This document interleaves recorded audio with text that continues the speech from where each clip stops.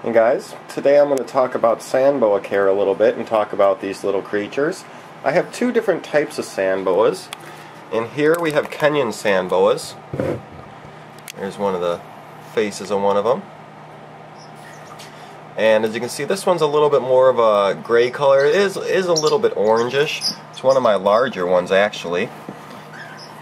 Bring her up here so you can see her better. On top of the turtle tank. My birds get feathers all over, but this is one of the sand boas. This is a Kenyan sand boa. So you can see their color is usually an orange and a darker brownish or blackish, uh, like kind of striped or spotted or splotchy colors. Kenyan sand boas don't get too big, just a few feet. Uh, they're smaller than Indian smooth scale sand boas, which can get up to like four feet. Here's one of my Indian smooth scale sand boas. And this one is about to shed. She's a little bit darker than usual. She's usually a lot more orange. As you can see, she's a lot larger though than the Kenyan. But they get to be about four feet maximum. They're not huge snakes. And in my experience, sand boas have been pretty calm, tame, and easy to handle. Uh, my Indian smooth scales here had babies last year. This is, uh, I, think this one's the female. I can't be sure which one's which because I didn't see it have babies. But when I got them, this was supposed to be the female. And then over here,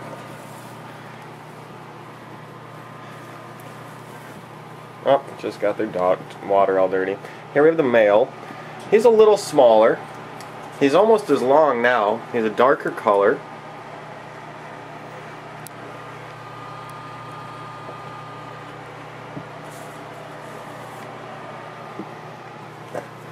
But I wanted to talk about these snakes because they're so easy to care for.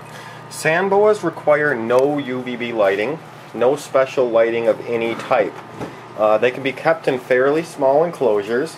A single sand boa, Kenyan sand boa, can be kept in about a 10 to 20 gallon aquarium. And an Indian smooth scale should have something a little bit bigger between a 20 and 30 gallon aquarium. About that size in terms of ground space. They really don't need much in their cage at all, other than a water dish and their bedding. Uh, I clean their cages about once a month only, but I do spot cleanings more often. I'll pull out the uh, shedding and I'll pull out, you know, little, uh, you know, dirtiness that's in there. But only about once a month do I do a full empty and refill. So it's very easy to clean, and when you only have to clean it once a month, it's also pretty cheap because the aspen you put in here once a month really doesn't cost that much at all. Uh, the Kenyan sand boas also very cheap on food. Uh, if you can find mice for a small price, it depends what pet store you buy from. Some cost, you know, five bucks and some cost one buck. So if you can find mice for a dollar, you can feed your snake for as little as two to three bucks a month. You're going to want to feed them about every 10 days when they're adults, so like three mice a month and very simple and easy to care for. If they have a substrate in here, I use aspen. People usually don't recommend sand. Some people don't even recommend aspen, but I find sand or aspen works just fine for them. Even though they're called sand boas, they usually don't live in sand in the wild.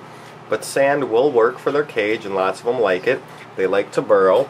I use aspen because it's a lot lighter. If I use sand, this tub would be very heavy. With Aspen, it's a lot lighter, easier to clean. I just empty it out and refill it once a month, like I said. With sand, it's more of a pain to clean as well. So I'd recommend something like Aspen or a different type of substrate of your choice. For temperature, uh, you need uh, a temperature gradient in their cage. It's good for them to have, by gradient I mean it's, it's good for them to have a hot spot and then colder, colder, colder, colder.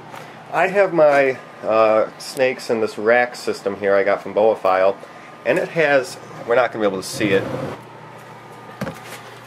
No, you're not going to be able to see it back in there. But it has heat tape on every level across the back.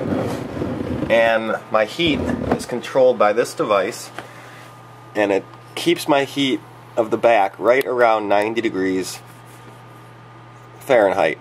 So that means that the very back of their cage is 90 degrees and then as you get closer to the front it's cooler and cooler and cooler So they get to choose how hot they are. They get to choose if they want to be uh, in the hot spot or a little bit colder spot.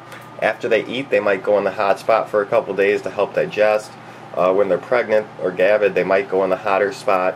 Uh, and then if they want to go in the cooler spot, they can. It's very important that your snakes have a temperature gradient so they can choose how hot they want to be. But these snakes, like I said, sand boas are great, easy to care for. They require no lighting. Pretty much all you need is somewhere between a 10 and 30 gallon tank. Of course, you can go bigger. You can give them 40 gallon tank if you want. And if you have more than one, of course, bigger tank the better. Uh, they can live together. Uh, I've had good uh, results. Uh, in my top Indian smooth scales, I got a male and a female together. And with my Kenyans down here, I got, as far as I know, one male and two females. I've only seen two of them. One of them's hiding somewhere else, but one of them is a little bitey. I know that this one's nice. One of them's a little bitey sometimes, so well, this one's nice too. It's the other one that I don't see right now that's a little bitey. see the difference in size here between these two. This one's a lot thicker. Actually, I'm hoping she's pregnant right now, but she might just be big, uh, a lot bigger, but I'm hoping she's pregnant. So, very cheap, uh, easy to care for. Like I said, all you need is a tank, uh, you need a heat pad, and that's pretty much it. You need some substrate in there and a water dish, and then you feed them about three times a month. They're usually calm and easy to handle, and they're not too expensive for the Kenyans. Kenyans can run anywhere from 30 to 80 bucks depending on the size, color, age. There's also different colorations. There's like a black and white coloration, and there's a couple other colorations. But for the standard ones, they're between 30 and 80 usually uh, at you know pet shops, Animal Expos, breeders such as that. Indian smooth scale sand boas like these guys, they're a little more expensive. They can range anywhere from 100 to 200, and the babies are very nice looking. As you can see, the adults are kind of a flat color. The male here is a little more, oops, male here is a little more brown, and the female was a little more uh, orangish color. But the babies are a nice striped color and very uh, very nice looking babies. They run from 100 to 200 though per snake. But I just wanted to talk about these snakes. I've had some videos on them in the past. Just wanted to go over their care again and show you guys how they're doing. Let's see if I can find the third one, but I think third one I'm kind of scared to find because he is a little bitey. Here he is. Oh, he just went under. I don't want to chase him around too much because he's a little, I think he's a little bitey. Um, I try to pick him up for you guys. If I get bit, it's your fault. uh, here he is, here he is. I don't know where his head is yet. I'm trying to figure out where his head is so I can try to get him. Okay, I think I got him. There he is. So, there's the three sand boas. One, two, three. And they're all doing great. See, he's a little more, see how he just like flinched? He's a little more uh, uh, squirmish, I guess, or skittish. So sometimes he might be a little more bitey just because he's scared, not because he's a mean snake. But you saw he kind of like flinched. The other two are much more uh, calm and they don't really care when I touch them. He's okay, but he's more skittish.